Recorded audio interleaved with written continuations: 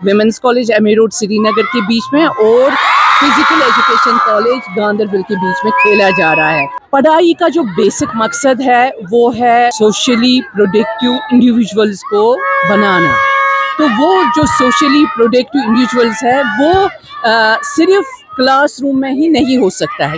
पढ़ाई ही की तरह से नहीं हो सकता। उसमें हमारे बच्चे जो है जिनकी हॉलिस्टिक डेवलपमेंट होनी है वो बाकी एक्टिविटीज़ में पार्टिसिपेट करने से भी हो सकता है जिसमें स्पोर्ट्स का एक खास अहम रोल है इंसान की बैलेंस डेवलपमेंट को बनाने के लिए। क्योंकि जैसे कि आपने सुना है a sound mind resides in a sound body जब तक कि आपकी बॉडी साउंड ना हो तब तक आप, आपका माइंड साउंड नहीं हो सकता है। जहाँ हम स्टूडेंट्स को ये समझा रहे हैं कि फ़िज़िकल वेलनेस जो इंसान की है फ़िज़िकल फिटनेस जो है, वो कितनी इंपॉर्टेंट है हर एक इंसान के लिए। एकेडमिक सेशन स्टार्ट होने से पहले एक कैलेंडर बनता है पूरे साल का। स्टूडेंट्स को बेचने के लिए है, जहाँ वो नेशनल्स खेलेंगे, इस वक्त उनकी ट्रायल्स भी चल रही है।